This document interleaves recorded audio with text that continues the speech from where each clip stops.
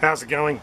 Making up a radial flow filter to go into our aquaponics and also changing the plumbing around a bit, drilling out some holes. So I thought I'd bring you along and show you. Just to bring you up to speed, um, I made a filter, connected it to the aquaponics and I've come into a few issues with the Uniseal. Uh, the Uniseal's just not sealing nicely around the little ridges on the side of the drum. I think the plastic's just a little bit too bendable as well um, and the pressure of the pipe work on that Uniseal is creating a bit of a leak. So, so the one I'm actually building now is made out of the same drum as the old radial flow filter uh, which will actually look better in the system, two drums sitting next to each other that look the same. So to begin with, it's going to be plumbed up with the 50mm or 2 inch uni seals and pipe. So down the bottom of the unit, I've left pretty much all about, I think that's about an, um, an inch and a half or 40mm from the base of the drum to the bottom of the hole and then I've just drilled through with the appropriate drill, um, hole saw which for this one is a 76mm or a 3 inch hole saw. Just zap that all the way through and at the top on the opposite side I've had to cut out some of this plastic work but I've done the same as well so I consider Uniseal in there nice and neat. That'll be the um, where the water flows out into the moving bed biofilter and this is where the water flows in directly from the fish tank. The plastic on this is a lot more rigid than the other one too so so what I've got to do now is just mark out the top here. I'm just going to use this as a template to mark out my lines try and get it as central as possible. I think that looks pretty good so just give it a bit of a mark with the um, Sharpie or Nico or whatever your marking pen. Then all that needed to be done was a hole drilled and the jigsaw um, run around. And the bucket will just sit in nicely like that and we can put a lid on top. So it's as easy as that. So I'm ready to put the drain to waste in the base here. I've taken it out of the carcass of the old filter I've just pulled out of the system. So what I'm doing is putting a, it's a um, two inch drain to waste, I think yeah I think it's a two inch drain to waste and I've made up this little attachment it's just a drain to waste fitting screws on there um, just some other bits and pieces fitted together and glued so I could screw in this little PVC tap um, it's just a little ball valve I've had it laying around and these bits laying around. This is actually from the old pond, so I'm trying to recycle as much stuff as I can. So I'll just set up the drill and drill my 51mm hole through there so we can screw this drain to waste in. So with these hole saws, I actually like to run them backwards like a lot of other folks. It just gives you a neater hole. If you run them forward, the jagged teeth can sometimes catch on the plastic and rip the job. So it's just something I like to do. Just going to collect my swarf here. Just like to um, run the knife around the edge as well, take off any of the burrs. So now the hole's drilled, I've got the drain to waste ready. I've got a washer just up on the inside and it can go through the base like so. And then on the outside here, I've also got another washer that I'll be putting on. And then the lock nut just gets screwed into place. It's pretty important that you get this seal nice and tight. Um, I was speaking to a chap on Facebook um, and he was saying he had to actually put a bead of silicone under his just to stop the leaking. Hopefully I'm not going to have a problem with these two washers. That sealing fairly flush down there. So the only way to really tell is to plumb her all up and give her a bit of a test run. So before I put on the bottom tap and fix finish off this fittings, I want to actually put in the pipework and the uniseals for these holes here. Um, it's just a bit hard to manoeuvre it around with a big spike sticking out the base of it. So all I'm doing is pilfering the parts from the one that failed with the uni seals, it's a good thing to put a bit of a chamfer on the pipe. It just helps it push through the uni seal a little bit better. Once it's in place, you've made sure there's no um, bits of swarf stuck on the hole.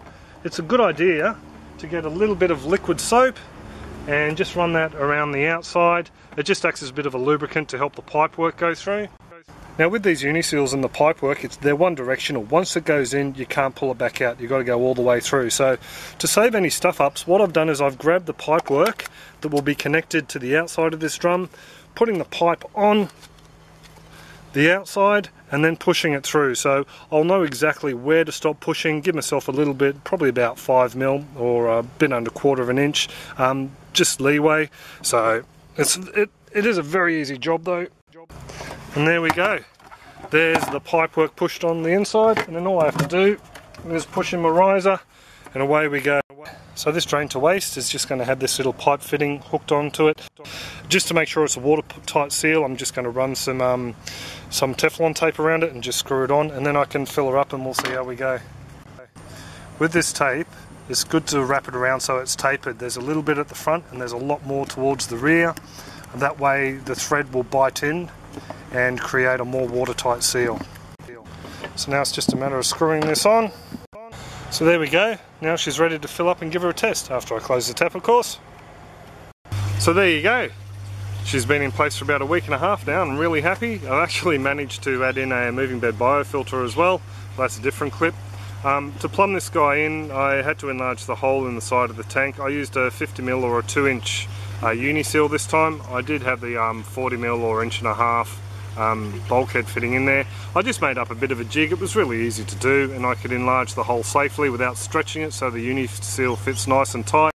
The filter, the filter's doing its job, it's collecting solids. Um, I haven't included the figures in the clips before. Um, we've got a flow rate through the tank here of about um, 2700 litres an hour. Uh, it's been reduced from the pump. The pump's an actually 4500 litre an hour one, but we've got a bit of a head height with the pipe coming up around the back and we've got a Venturi on there so and also the age of the pump.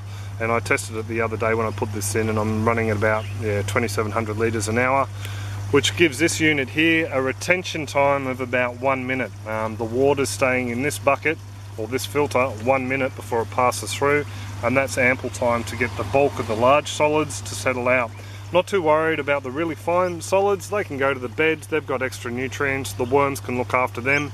My main concern here is getting the bulk of the large solids out. Um, it just just takes a bit of the load off the bed and yeah, stops that solid build-ups which I've had problems with before. So I know these aren't to everyone's liking, not everyone reckons you need one of these on the system, but yeah, I'm running one. Um, for cleaning, oh yeah, for cleaning, um, I found even though the outlet is smack bang in the middle of the base, it's not drawing all the solids out. So what's happening is it's taking the solids from just around the inside and the solids around the outside are staying in there. So I'm having to take the standpipe off, give it a bit of a swirl to get the solids moving. The problem with that is they then go spread or become suspended through the, all the water again and you've got to dump the whole lot of the filter to end up um, cleaning out the solids. So I've gone back to my jiggle siphon. You pop that in there give it a bit of a bounce up and down and that um, creates a bit of a siphon so you don't have to suck on the end of the hose and then just running around the base picking up the solids themselves. I find once I create a siphon I have to pull this out though because the small hole or aperture in there um, does get clogged by the larger solids so that's just something I've been doing. Um, I'm not too worried about that. Every second, third day I do that. Siphon it into the bucket and it goes out to one of the many garden beds so as you can see it doesn't get wasted. Um, one thing you'll notice over there is I stuffed up on the placement of the hole. Uh, those holes are really easy to plug too with a Uniseal. Um, so what I had to do was drill another hole to get it to go through to the biofilter. Originally this was going to be set up running that way over there so I needed the hole opposite the inlet yeah so a bit of redesign takes nothing to make a bit of a plug up and stick it through the hole more than happy with the way she's going. Built a little stand up for her out of an old IBC cage. I bolted it onto the sleepers that the fish tanks sit on, so she's not going to go anywhere.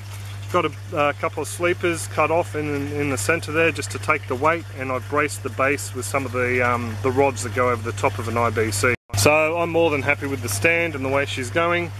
Um, yeah, so suppose that is pretty much all it. So there you go, there's a bit of a look at a very quickly thrown together radial flow filter. Um, the square top, I don't think I mentioned it before, you don't need to have a square bucket in the top, I'm just using them because that's what I've got on hand. Seems to work just as well as a round one, so I'm more than happy with that. Uh, round one with a lid would work just as well. Well, with the radial flow filter as a whole, a lot of people, I've read on a couple of forums and different places that um, people are down on others that use a radial flow filter. They're, you know, each to their own, seriously. Um, if you want to add one in, I really don't think it's going to take a lot of the nutrients out of the system. Um, our plants are growing fine, they're growing gangbusters, we're getting loads of fruit on the eggplant and on the chilies, all the greens are growing phenomenally well. The kangkong has to be um, hacked back at least once a week, so does the warrigal greens. We've got 14 fish in the system, did a bit of a harvest the other day and everything's growing fantastically so I'm not concerned. The waste we take out goes onto the soil patch and those plants down there really appreciate it as well I think so. Um, if you're running a small system, um, only with a couple of fish, probably don't need one. If you're running a DWC, it's a good idea to have a bit of a solids removal, just so the, the, the solids don't build up underneath the plants and the bottom of the trough that they're floating on. Um, it's just one of those things, saves you having to clean it out later. Also too, I had a couple of beds foul up because I, they were made poorly basically by yours truly and also my bell siphons could use a bit of a tweaking with the way that they collect water from the beds. Um, so I had solids build up in a couple of my beds. I've done clips on it. I had a nitrite spike. So in my case, I think it was a good idea. In your case, you know, read up on it, have a bit of a look around the web and see what you come up with. If you do have any comments, questions or suggestions, pop them in the comment section below and I'll get back to you. Other than that, I hope this has been helpful to someone out there and have a great one all. Cheers!